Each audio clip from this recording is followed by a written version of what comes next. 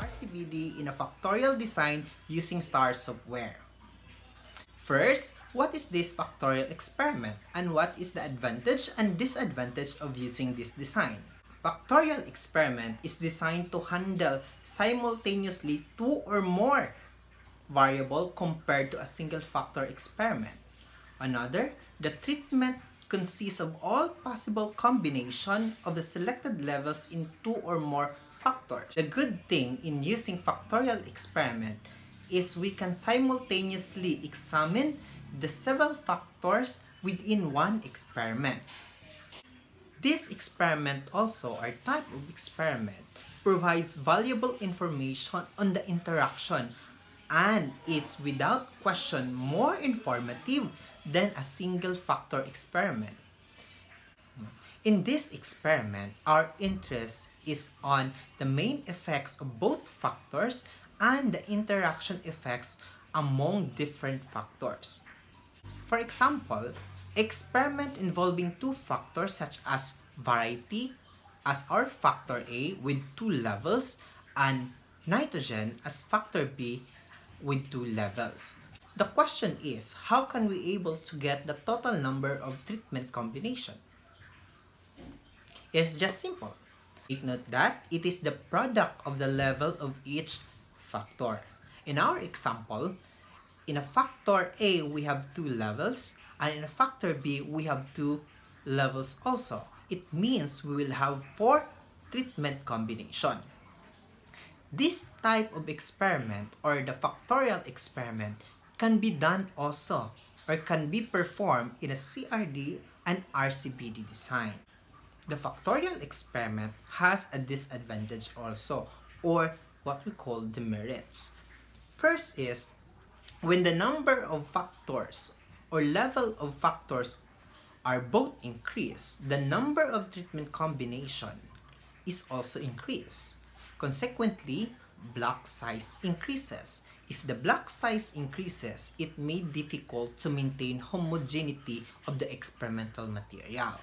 That's why this will lead to increase in experimental error and loss of precision in the experiment. Another thing is the layout of the factorial experiment is comparatively difficult than a simple experiment. In addition, all treatment combination are to be included for the experimental irrespective of its importance and hence this result in wastage of experimental material and time. Last thing is statistical procedure and calculation of a factorial experiment are more complicated than using single factor experiment. However, in this video, I'm gonna show you how to analyze CRD and RCBD in a factorial experiment using STAR software. Now, let's First, I will show you how to analyze CRD in factorial and after this, I will show you how to analyze RCBD also. First thing you need to do is to open your STAR program or STAR software. You need to open your STAR program and need to import your data file in the STAR program, STAR software. Okay, in this presentation, I already Im import my data in the STAR software. And this is my data is okay, just click it. In this type of factorial experiment I will gonna do as CRD in a factorial ex experiment. I have two factor, the variety, and the nitrogen. The factor A is the variety, and the factor B is the nitrogen, and it is replicated three times. This is in the CRD design. First, you will do is go to Analyze, click Analyze, and there are a lot of choices there. There are descriptive statistics, t-test, test on proportion, chi-square, analysis of variance, correlation, regression, non-parametric test, fit distribution, and multivariate analysis. However, we will just go to analysis of variance. And just click the CRD or the completely randomized designs. There are also a lot of choices there.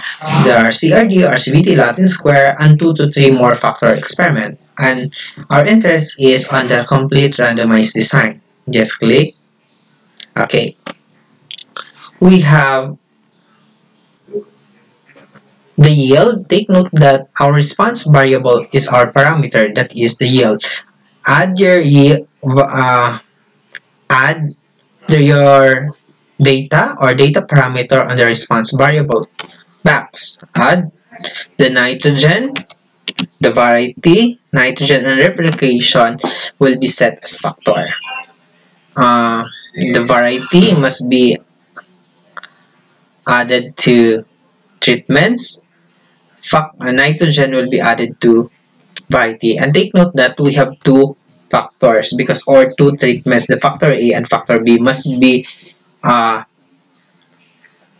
put uh, the variety and nitrogen must be put inside on the treatment box. Okay. Next is just click OK.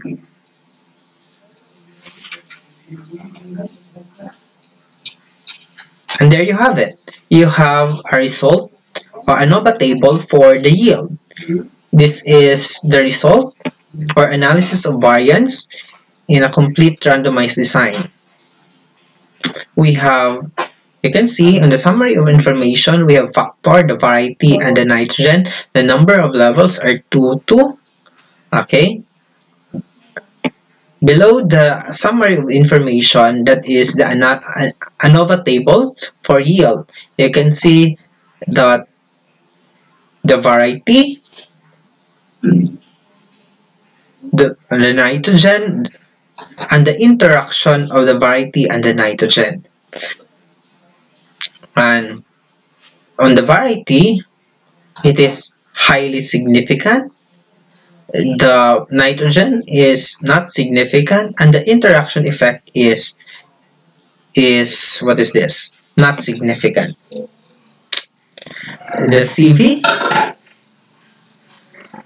where the yield is 2.10% standard error here. And we have the what is this?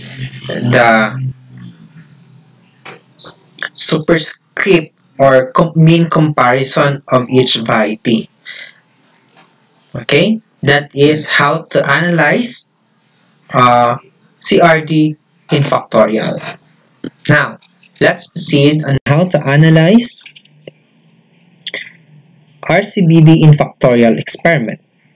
Okay, again, what I'm gonna do is import your data here in the statistic or star software, then click,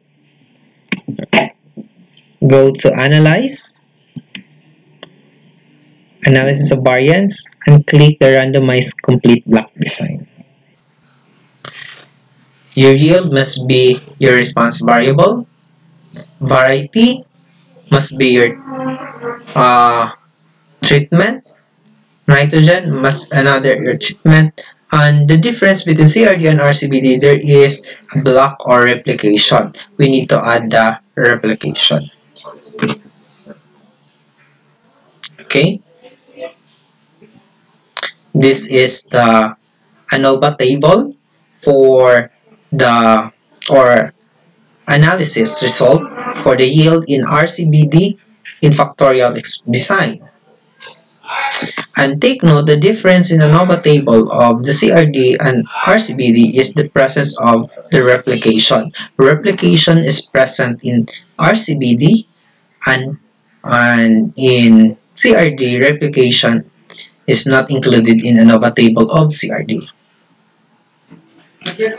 Okay, based on the analysis of variance, based on ANOVA table, it shows that the variety shows a significant difference among treatments. Then, you need to undergo post-hoc analysis. The question is how to do a post-hoc analysis. Okay, just click here. Okay, then undergo post-hoc. Okay, what is uh, responsible with significant effect, effects are is yield add to post-hoc test. Then there are a lot of mean comparison you gonna use or you can choose only one or two or three or you can choose all to undergo analysis and yield. But mostly, uh, we will use the Tukey's honest significance different test. Just click the Tukey's honest significant significant difference test, then click OK. Just click OK. And there you have it. You have a pairwise mean comparison of variety. And it shows that um, variety 2 must has a higher yield compared to variety 1. Then, that's it. And that's it on how to analyze RCBD and CRD in a factorial experimental design. As a recap, as a recap, open a star program, import your data file to star, then open your uh, what is this? Open your data file, analyze, go to analyze, analysis of variance, CRD, yield must be in response variable, add the night variety and nitrogen on the treatments. Do not include the replication and the CRD design. Just click OK. And there you have it. You have the analysis of variance in complete randomized design in a factorial experiment. Okay? Everything you need is there. That's it.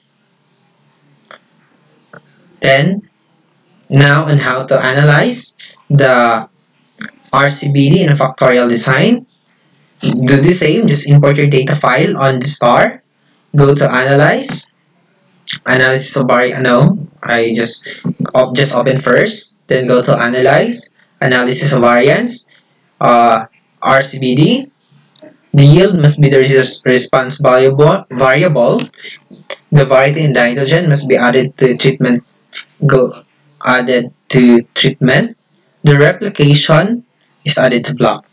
And okay. There you have it. There you have it. Okay.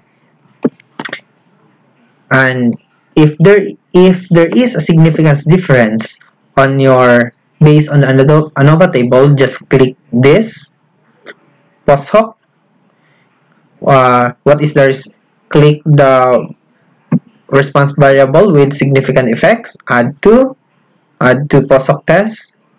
This is the mean comparison you will use to undergo for the yield. In this presentation, I will just use honest significance test. Just click OK. Click OK. And click this, the pairwise output. And there you have it. The Tukey's honest significant difference. And that's it.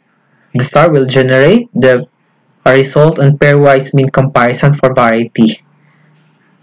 And it will show you where is the significance between one variety to another. Okay? That's it.